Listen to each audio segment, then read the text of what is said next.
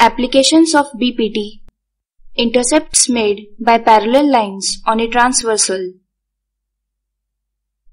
Dear students, we are going to understand one of the application of basic proportionality theorem that is BPT in this video.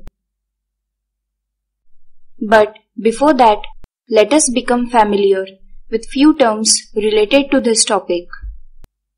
Intercept means part of a line. Parallel lines are the lines which never cross each other.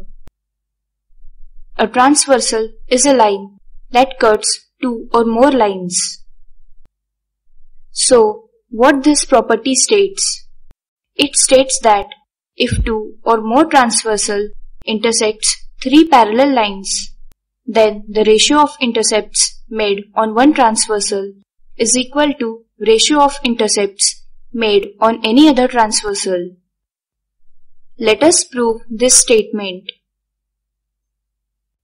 Given.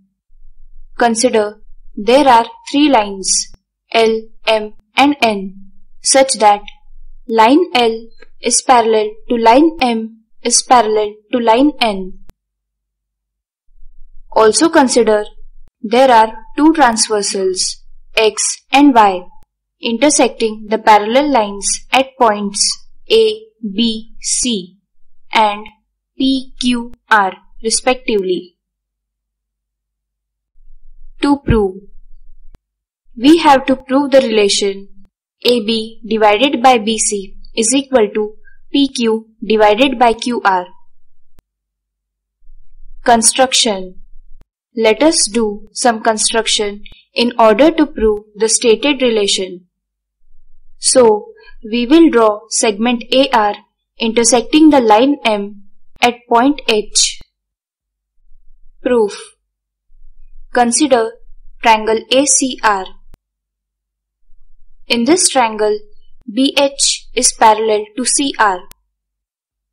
So, by BPT, AB divided by BC is equal to AH divided by HR. Consider this as relation 1. Now, consider triangle ARP. In this triangle, HQ is parallel to AP.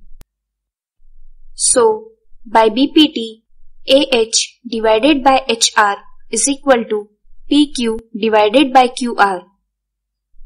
Consider this as relation 2.